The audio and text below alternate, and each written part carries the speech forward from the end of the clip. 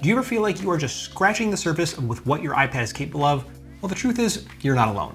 Many of us use our iPads just for the basics, yet with new iPads on the horizon with groundbreaking features like new processors, better displays, fast refresh rate, the opportunities to enhance our daily lives are immense. So today I'm gonna transform how you use the iPad. You heard that right, I've got seven ways for you to get the most out of your iPad from multitasking to accessories, everything in between. You're gonna discover new ways how you can unleash the power of your iPad so you can extract tremendous value from this device. Let's get started. What is going on everyone? My name is Mike. Welcome back to the channel. I'm very glad that you're with me today because we're talking about seven ways to unlock your iPad's potential. I've got the timestamps to each section pinned above my right, your left, as well as pinned right below the like button. Now, without further ado, let's optimize your iPad. Whether you have the compact 8.3 inch iPad mini or the expansive 12.9 inch iPad Pro, optimizing your device is the very first step to transform your use. Let's start by making the iPad more than just a tablet and make it a powerful tool ready to work for you. Productivity on your iPad starts by setting up clear and straightforward home and lock screens. I truly believe in this. Set your lock screen, set your intention.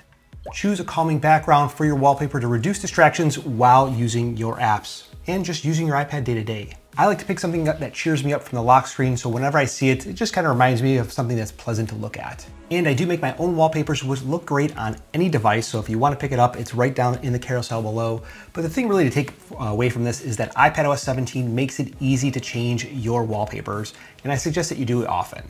Next, let's arrange your home screen apps. I think it's essential that you have quick and easy access to them, and for me, that means it's gonna be the essential apps and the widgets are right where I can access them on the home screen. I place my most used apps at the bottom of the dock along with the widgets, and I place less used apps into folders as appropriate. Now I like to use uh, folders such as work, play, and social, but you do you. Optionally, you can also rearrange your apps. I like to drag apps into or out of the dock for easier access. Again, I place all my most frequently used apps inside of the app I do this for two reasons. So one, I have easy access to multitasking when I am multitasking on my iPad, which we'll go over here in a few minutes, or when I have my iPad connected to an external monitor. You can also add lock screen apps to your iPad with iPadOS 17. This lets you see important information such as weather, updates, calendar events. Any app that has a widget, you can place it on your lock screen. And once you're finished with the widgets, tap done in the top right hand corner and there you have it. Your iPad is now set up for success with everything right at your fingertips, quite literally. Now that your iPad is ready, let's supercharge it to boost your productivity even more. Let's raise it up a level. This section is going to cover multitasking, keyboard shortcuts, notification management, and really these are all tools that will quickly make you a power user on your iPad. Multitasking on the iPad has really never been easier with features like slide over and split view. You can have slide over open with two apps in between them, drag and drop content between the two windows, and then add slide over as a third floating window if you want to reference something. It's very easy to set up split view. I'm going to show you how to do it right now. Start by opening up the first app that you want to open. While that first app is open, swipe up from the bottom of the screen to bring up the dock. You're going to click on that app icon and then drag it up from the dock to the right or left hand side until it snaps into place. Now once it's snapped into place, you have the ability to manage the window size by taking the dividing line and kind of just dragging it back and forth to the right or left to make one bigger than the other.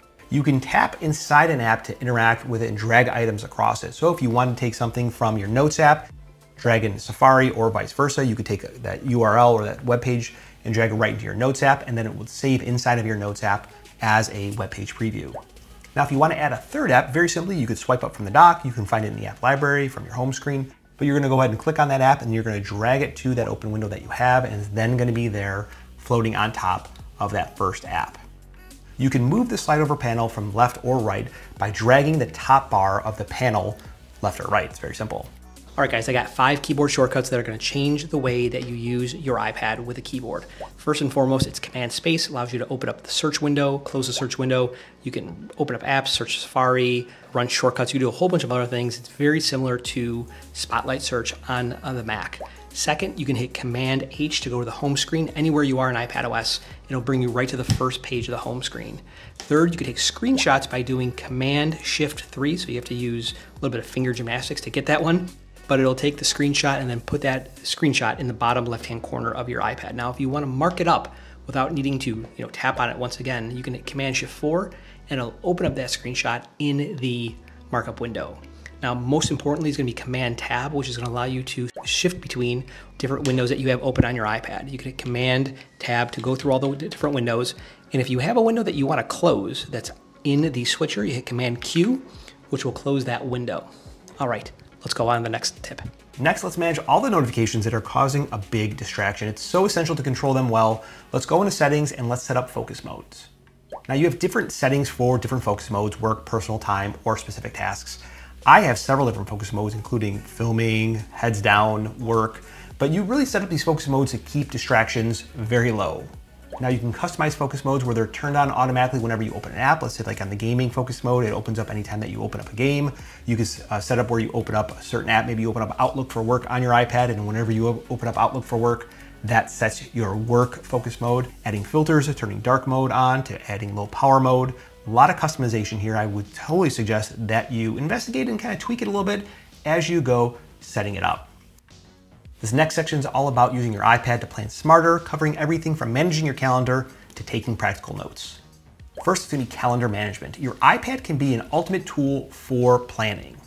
You can manage all of your appointments and meetings by syncing your calendars across your devices. The built-in calendar app inside of your iPad and on your iPhone from Apple is great. And of course, Google's Calendar is also a great app. It just depends on what ecosystem that you live in. I like to use Fantastical. It is a paid option, but their app is very robust and offers a lot of features in terms of offering availability, sharing it. It's just a really a robust app. You can have calendar sets. Now there are several great apps in terms of task management that keep track of your tasks, whether you're using Apple's first party reminders app, which is a very robust app and offers a lot of great features, or third party apps like TickTick like I do. Next, effective note taking is an essential skill whether you are student, professional, or someone like myself who just has too much to remember. Your iPad is the perfect tool for this when you pair it with an Apple Pencil, a Magic Keyboard, or maybe even just your own voice for note taking. There's a ton of different options that are available for you on your iPad, but make sure that you're taking notes and being timely about it is gonna be key. Next, let's unleash the creative power of our iPads. I think that the iPad is really a perfect tool for creators of any skill set, whether you think you're creative or not. It offers photo editing, document management, and other advanced tools for creating. First, let's start with the Photos app. It's built right into your iPad. It offers a wide range of tools, including adjusting exposure, crop, filters. You can do some basic uh, video edits in there as well. And it's really easy to use. Those edits will sync across devices. You can copy and paste edits. So I think the Photos app is a great place to become creative with your photos and videos that you've captured on other devices. Now, if you're feeling a little bit more advanced and you want to take a little bit more control over your photos, let's check out Adobe's Lightroom. This app enables you to make detailed changes to your photos, uh, along with advanced features like masks, adjustment brushes, healing, clone stamps, and there's a number of features that are in there which just are generally not available inside of Apple's Photo app. In terms of document management, your iPad can manage documents just as well as any computer. Actually, in some cases, it's gonna be better. The Files application allows for document storage, organization, and sharing directly from that first party app, Files. It integrates with iCloud, Dropbox, and Google Drive with just a click or a tap of your finger. And here's something that I bet you did not know. You can use your iPad's camera to scan documents directly into iCloud for easy sharing and organization. With all the tools that we talked about today, your iPad has become a powerful workshop for all your creative projects. Next, let's look at all the exciting ways that we can take these effective ideas using productivity apps to keep you on track. Execution is all about staying focused and managing your time effectively. One of the techniques that I love to manage my time is the Pomodoro technique. It's really simple, helps you focus to prevent burnout and breaking your work into manageable chunks followed by short breaks. Very simply, you have a timer. I actually have mine right here. You turn it to duration, you finish the work within that duration, you take a five minute break. You do several of those sessions, then you take a little bit of a longer break. Using the Pomodoro technique to manage your time is gonna be something that's gonna help you stay on track, stay productive. I would definitely try it. Next, let's look at Timery, which is an app that I use for tracking your time. It's integrated with a service called Toggl, but time tracking is really great for anyone who wants to keep track of their time for work or personal projects you know, maybe I want to donate time to uh, a certain charity and want to do 30 hours a year for charity work. This is how I could use that, and where I want to make sure that I'm spending my time where I should be spending my time. Because if you don't measure it, you can't manage it. Next, let's take a break from all the work and let's have a little fun. The iPad is not just a tool for productivity, though I think that's how some people use it. It is also a great entertainment device. Now, first and foremost, obviously the iPad is a great device for streaming, whether you're using Netflix, Hulu, Disney Plus. Hulu and Disney Plus are, I think, the same thing now, uh, Apple TV, but you get a wide breadth of content that's available on your iPad. And with all of these different streaming services that are available, there are sure to be subscriptions tied to them, whether you are paying through Apple or through the App Store. You wanna make sure that you prune that or review it as regularly as you can. To do so, go into settings, click on your name at the very top, and then once you're there, you'll see subscriptions. And you can actually sort the subscription either one by renewal date two by price or by expiration date. And you can just prune the subscriptions that you want to cancel. Very easy to do. Next, your iPad is really great when it comes to gaming as well. It's got a powerful processor, it's got a sharp display, it's got a long battery life.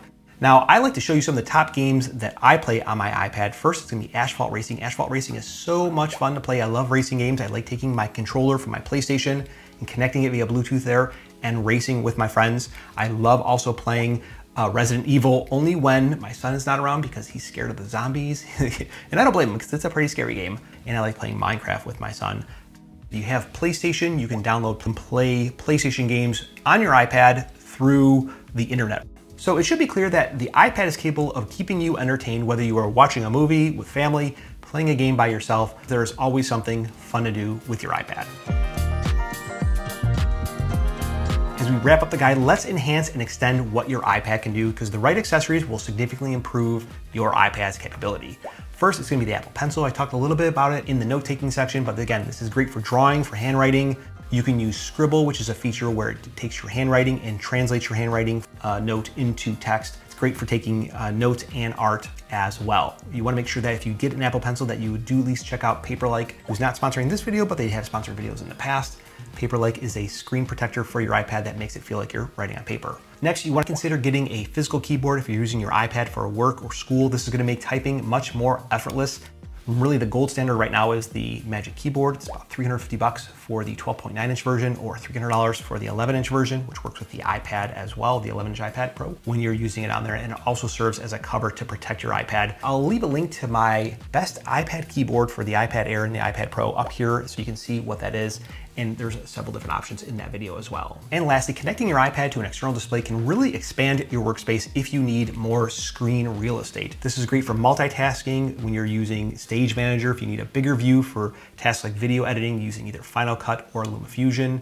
And if you're going with something like the Studio Display, which is probably one of the better options for your iPad because of the integration, it has a video camera in there as well for FaceTime.